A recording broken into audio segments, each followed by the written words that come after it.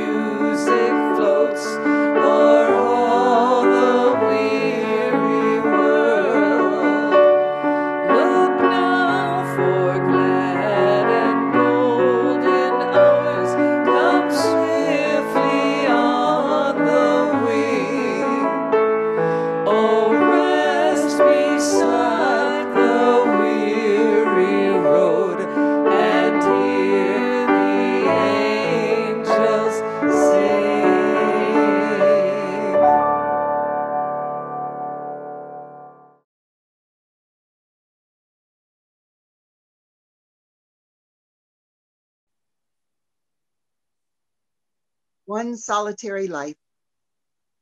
He was born in an obscure village, the child of a peasant woman. He grew up in another obscure village where he worked in a carpenter shop until he was 30. He never wrote a book. He never held an office.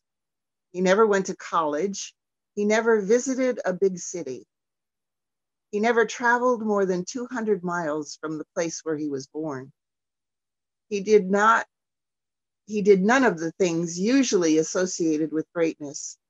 He had no credentials but himself. He was only 33. His friends ran away. One of them denied him. He was turned over to his enemies and went through the mockery of a trial. He was nailed to a cross between two thieves. While dying, his executioners gambled for his clothing the only property he had on earth. When he was dead, he was laid in a borrowed grave through the pity of a friend. Nineteen centuries have come and gone, and today, Jesus is the central figure of the human race and the leader of mankind's progress. All the enemies that have ever marched, all the navies that have ever sailed, all the parliaments that have ever sat, all the kings that ever reigned put together have not affected the life of mankind on earth as powerfully as that one solitary life.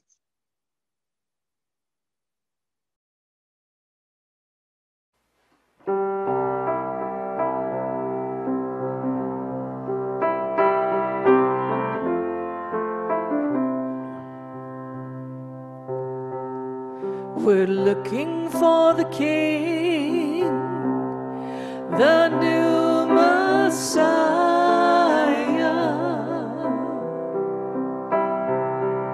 We're following the star, shining brighter.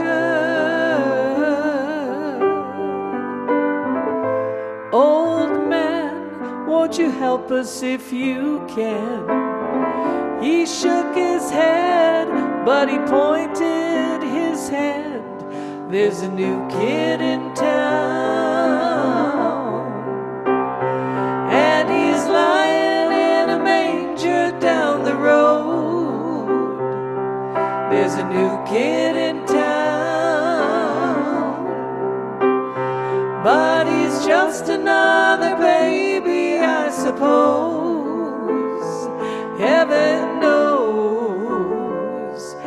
there's a new kid in town here in Bethlehem.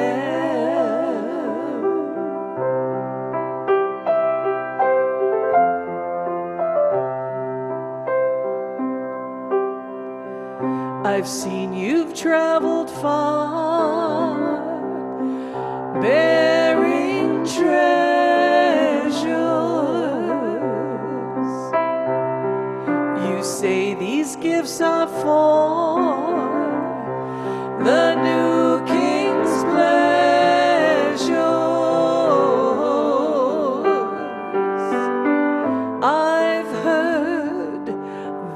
king might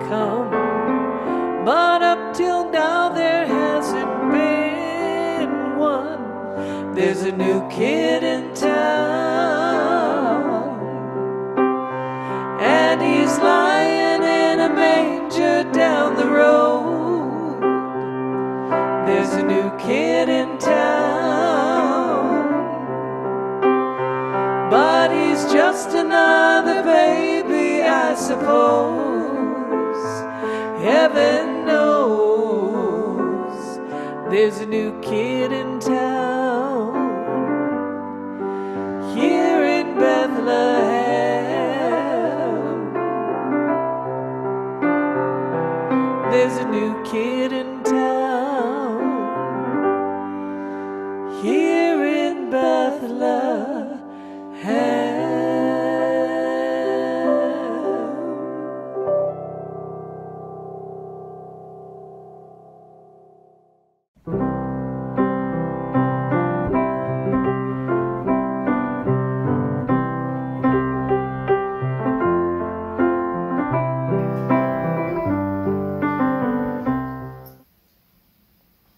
12 Gifts of Birth by Charlene Costanzo. At the present moment, at the wondrous moment you were born, as you took your first breath, a great celebration was held in the heavens, and 12 magnificent gifts were granted to you. The first gift is strength. May you remember to call upon it whenever you need it. The second gift is beauty. May your deeds reflect its depth. The third gift is courage. May you speak and act with confidence and use courage to follow your own path. The fourth gift is compassion. May you be gentle with yourself and others. May you forgive those who hurt you and yourself when you make mistakes. The fifth gift is hope. Through each passage and season, may you trust the goodness of life. The sixth gift is joy. May it keep your heart open and filled with light. The seventh gift is talent. May you discover your own special abilities and contribute, contribute them toward a better world. The eighth gift is imagination. May it nourish your visions and dreams. The ninth gift is reverence. May you appreciate the wonder that you are and the miracle of all creation. The tenth gift is wisdom. Guiding your way, wisdom will lead you through knowledge to understanding. May you hear its soft voice. The eleventh gift is love. It will grow every time you give it away. The twelfth gift is faith. May you believe. Now you know about your 12 gifts of birth, but there is more to the secret. Use your gifts well, and you will discover others. Among them, a gift that is uniquely you. See these noble gifts in other people. Share the truth and be ready for miracles to unfold.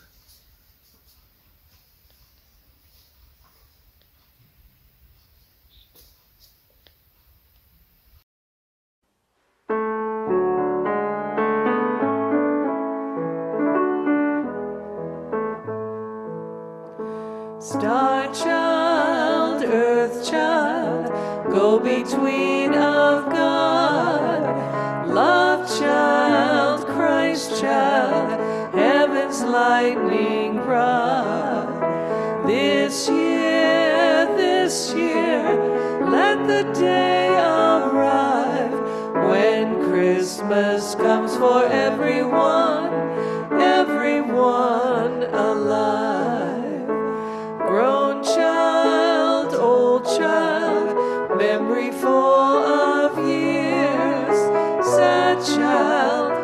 lost child, story told in tears. This year, this year, let the day arrive when Christmas comes for everyone, everyone alive.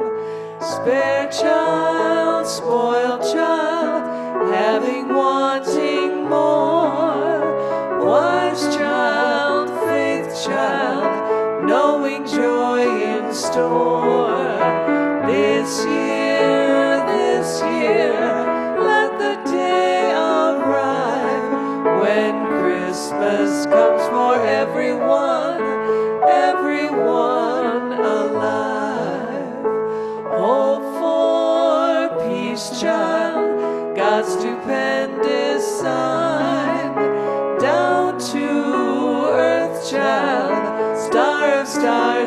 shine. This year, this year, let the day arrive when Christmas comes for everyone, everyone alive.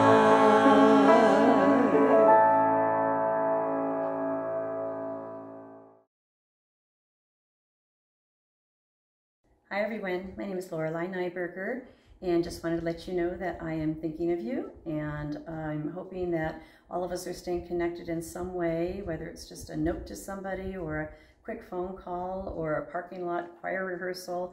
Um, I got some very nice notes from people who wanted me to order them scrip cards and that small note made a big difference. So uh, try to stay connected to one another in ways in which you can. And I just also wanted to say that we really do appreciate all of the time people have taken to bring sandwiches to the church for Casa Maria.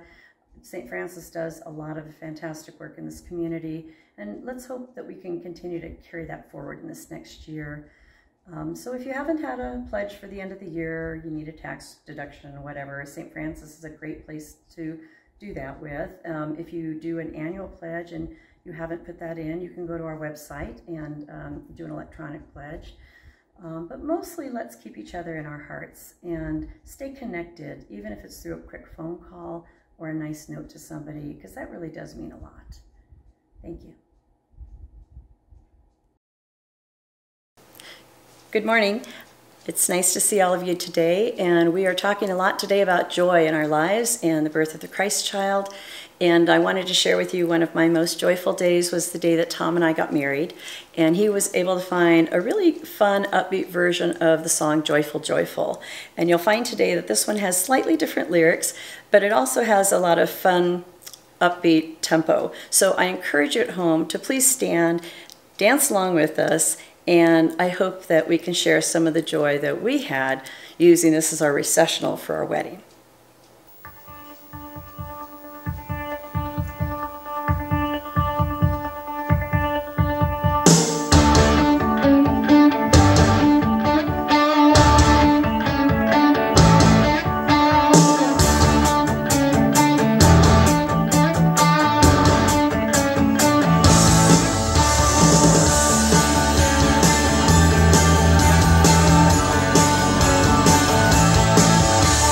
Joyful, joyful, we adore thee, God of glory, Lord of love.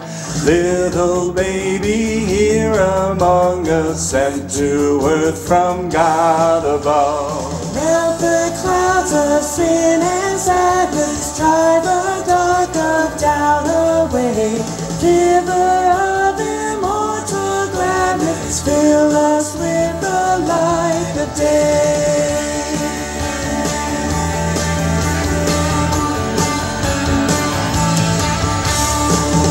Thy works with joy surround the earth and heaven reflects thy grace. Stars and angels sing around the center of unbroken grace. Field and forest, vale and mountain, flowery meadow, flashing sea, singing bird and flowing fountain, call us to rejoice in thee.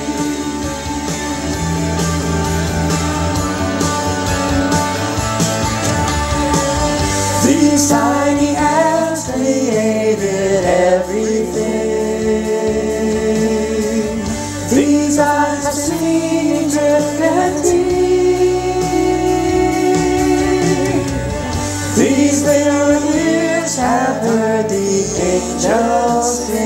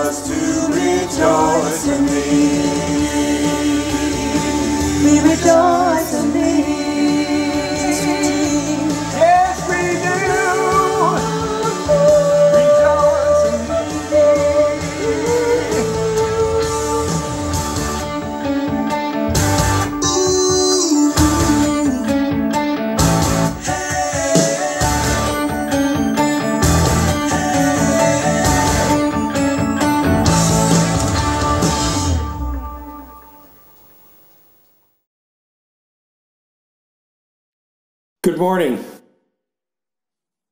Let us pray. Eye has not seen, ear has not heard what God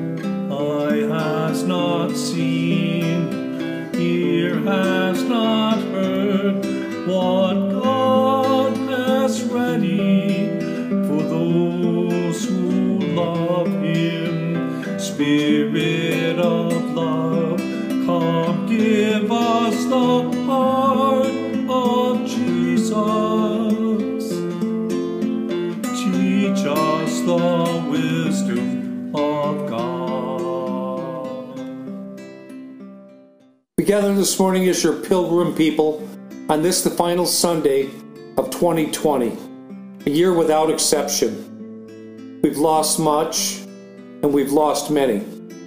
The evil of racism presented again throughout the course of this year and furthered our nation's deep divide. We suffered from COVID 19 and the value of our leadership to lead and govern on our behalf. Many of us lost our jobs and hope to be able to survive with dignity. For those of us gathered today, we have electricity and we are thankful, God. We have a place to pray with our community and we are thankful, God. We, the thankful, have also suffered greatly this year. We live courageously apart from each to provide safety. Many of us work from home, away from our co-workers. Some of us got a bigger than life picture of exactly what homeschooled meant. People we knew passed. Some friends, some relatives. Loneliness and isolation. Now, another trip around the sun, all but complete. We look to the future year cautiously hopeful. Eye has not seen, ear has not heard what God has ready for those who love Him. Spirit of love, come give us the heart of Jesus. Teach us the wisdom of God. We pray for rest and healing that we may continue to be your love and light for the world. Make us a part of the solution for the need for a vaccine to be available for all peoples without regard for any and all differences. We pray for the strength to be your presence through 2021. Amen.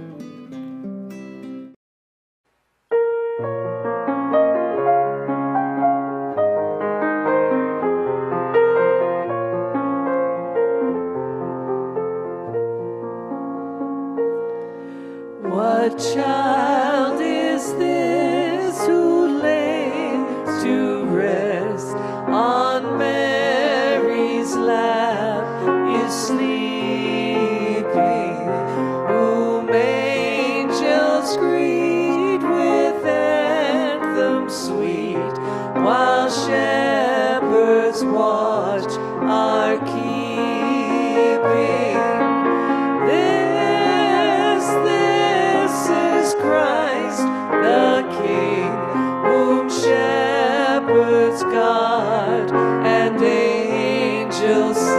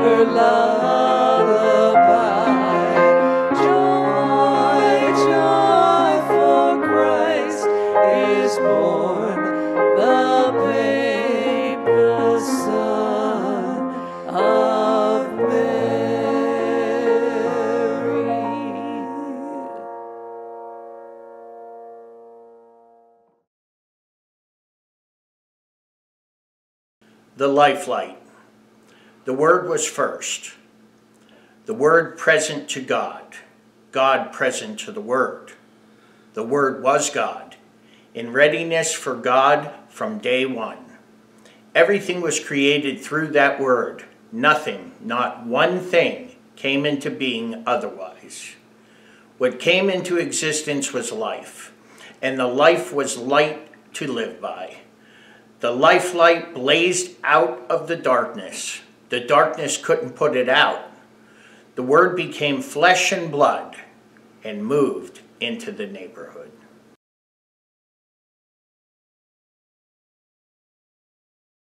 I also have a, an Old Testament scripture to read from Genesis chapter 1, verses 1 through 3, the very, very beginning. In fact, it starts in the beginning when God created the heavens and the earth. The earth was a formless void, and darkness covered the face of the deep, while a wind from God swept over the face of the waters. Then God said, Let there be light, and there was light. And God saw that the light was good and separated the light from the darkness. The kingdom of heaven is in our midst. Look around. God sparked nothingness, a dark void, into stardust and light. And out of that stardust and light, everything else would take form. All of the planets, all of the metals and the and the earth and the water and everything's of substance and everything maybe not of substance that that we don't even know about the brightest of stars a once in a thousand year event a supernova burst into the universe or maybe it was the conjunction of jupiter and saturn that drew the attention of shepherds and kings to a lowly manger. What child is this? He was a helpless baby, born to humble, humble parents, refugees fleeing to save their child. But shepherds and kings could see who he really was the Messiah, a Savior, God with us, Emmanuel, stardust and light. Now, most didn't recognize this Jesus baby as anyone special. Some, like Herod, the king of those parts, feared him. Why would anyone fear a small, helpless child? Because this child would awaken to the Christ. This child would challenge Herod's oppressive power of fear and darkness. Have you ever been afraid of the, of the dark? Herod was afraid of the light. You see, if people saw the truth, the promise that Jesus would bring, they would be without fear, and Herod would be without power. Jesus is the light that drives out the darkness. He lives so that we would know simple truths that God would have us spread throughout the world. Some of these virtues are compassion. Love is not only a virtue, but the only commandment that Jesus gives us. Love God and love your neighbor. Love is a verb. God wants us to love one another. That's how we love God. Every living person is a holy and beloved child of God. Every one. If taken to heart, this teaching alone would save the world. God doesn't see skin tone or height or weight or how much money one has in the bank. God doesn't see borders or gender or language or who we love or our cultural differences. God looks into the very be, be mm. God looks into the very being of each of us and sees a beautiful soul, a soul contained in a body that's struggling to be in touch with our true being, a body and soul that is constantly at odds with itself and others. Compassion seems like a no brainer for us church folks, but we are often guilty of meanness. I've seen so many church fo- folks being unkind. I'm often unkind. I must be more intentional to be compassionate to others. It's too easy to be unkind when you are angry or fearful or in conflict with another opinion. I must be more conscious of my behavior, my feelings. I must clothe myself in the virtue of compassion to be a true follower of Christ. I must be a model. Christ is in me, pushing me to follow the star. Humility is the virtue that I struggle with the most. In the words of the great prophet Mac Davis, Oh Lord, it's hard to be humble when you're perfect in every way. I can't wait to look in the mirror because I get better looking each day. I kn- to know me is to love me. I must be a hell of a man. Oh Lord, it's hard to be humble, but I'm doing the best I can. yeah, right. This is funny, but true. I laugh, but humility is a constant struggle. Do you find yourself listening to someone bragging and you can't wait to jump in and brag about yourself or your kids? My Tommy got an A in math. Well, my Susie got an A in English, an A plus. I'm guilty of everything that Mac Davis sings of, but I'm coming to grips with the fact that I'm not getting any better looking each day. How do we turn ourselves around? Not by patterning ourselves after personalities or politicians or sports stars with poor values, but by clothing ourselves in humility. Look for and admire better examples. Now, there's a virtue of meekness. Who here could be considered meek? You will inherit the earth. Don't go around bragging or you'll blow it. Or in these words, wise words from the 1971 song by Jean Knight Mr. Big Stuff, who do you think you are? Mr. Big Stuff, you're never going to get my love. Now, because you wear all those fancy clothes, oh yeah, and have a big fine car, oh yes, you do now. Do you think I can afford to give you my love? Oh, yeah. You think you're higher than every star above. Guilty. I'm guilty. I know. I don't come to mind when someone mentions meekness, but I'm working on it. That's important, isn't it? We can't always push to be the star. The meek shall inherit the earth. And what about patience? What's that doing here? I'm the least patient person I know besides Roy. In the Christian faith, patience is one of the most valuable virtues of life. Increasing patience is viewed as the work of the Holy Spirit. I like that. I do believe that the Holy Spirit is working on me all the time. My salvation is a process in which the Holy Spirit is guiding me toward perfection in taking on all these virtues and more. In Buddhism, patience is one of the perfections that a bodhisattva trains in and practices to realize perfect enlightenment. A Buddhist concept of patience is distinct from the common English definition of the word. In Buddhism, patience refers to not returning harm rather than merely enduring a difficult situation. It's the ability to control one's emotions even when being criticized or attacked. It's the ability to control one's emotions, even when being criticized or attacked. That means patience is doing no harm, even when someone harms us. Forgiveness is one of Jesus' overarching teachings.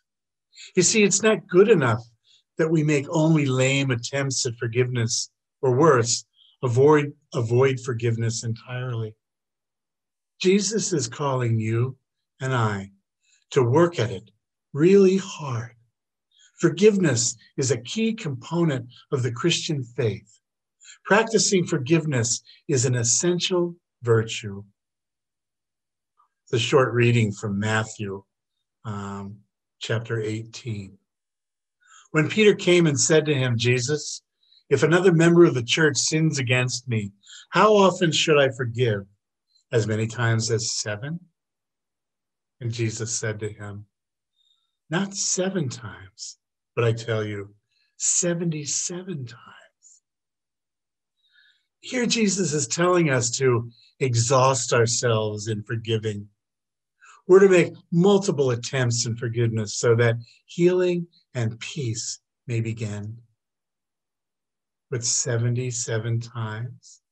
Some interpretations say 77 times 70. Let's see, that's a lot. This means that we must practice forgiveness and not move too quickly without seriously dealing with it. Love was born in a manger on that Christmas day. Love is the truth and the everlasting light that this Christ child brought to humankind. He would outlive Herod to bring good news to the poor who lived in fear. A lawyer once asked Jesus, What's the most important thing of all your teachings? Jesus said, Love God and love one another. These are the same. Upon love, all other laws are to be made. Love should be the foundation of everything we do. My hope for all of us, children of God, at this Christmas time is to remember this Christ is love. Christmas is the birth of love into a hurting world. What has come into being in Christ is life, and the life is the light of all people. The light shines in the darkness, and the darkness will not put it out.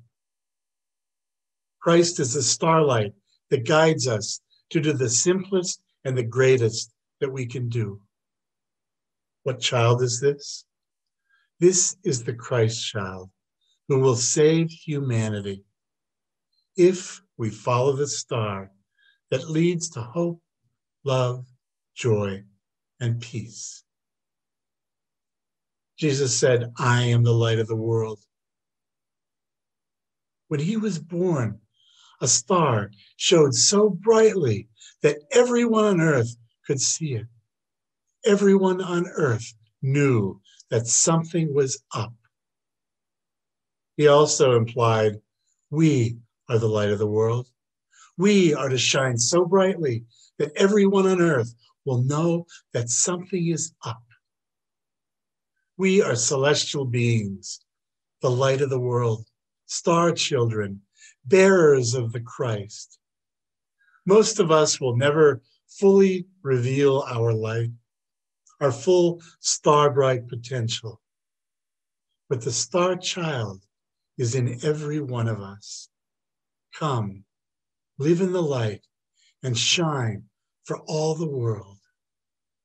This year, this year, let the day arrive when Christmas comes to everyone, everyone alive.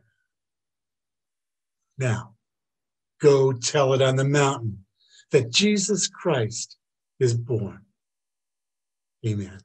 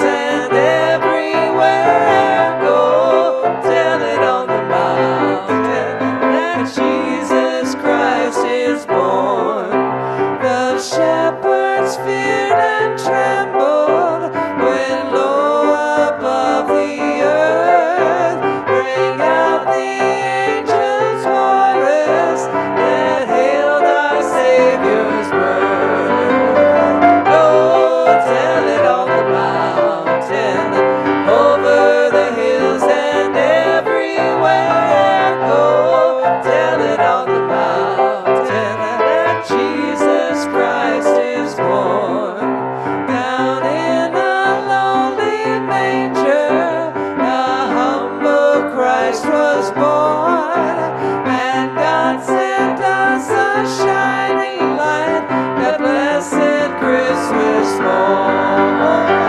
Go tell it on the mountain, over the hills and everywhere. Go tell it on the mountain that Jesus Christ is born.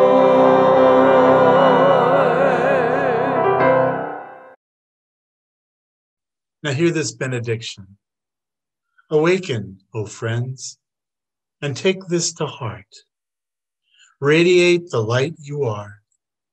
Do not let fear keep you from the truth of your being, nor illusions veil the innate beauty of your soul. Awaken. Know that you are a holy chalice of light and love. For the divine guest dwells within you. You are the holy temple of the beloved. You are the light of the world. Shine.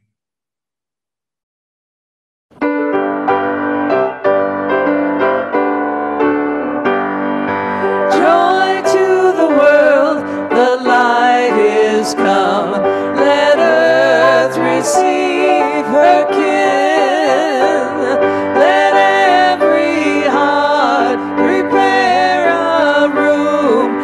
heaven and nature sing, and heaven and nature sing, and heaven and heaven and nature sing.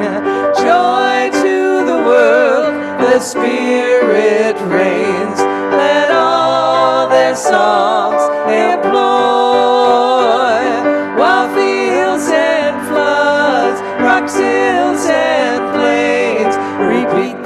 sounding joy, repeat the sounding joy, repeat, repeat the sounding joy.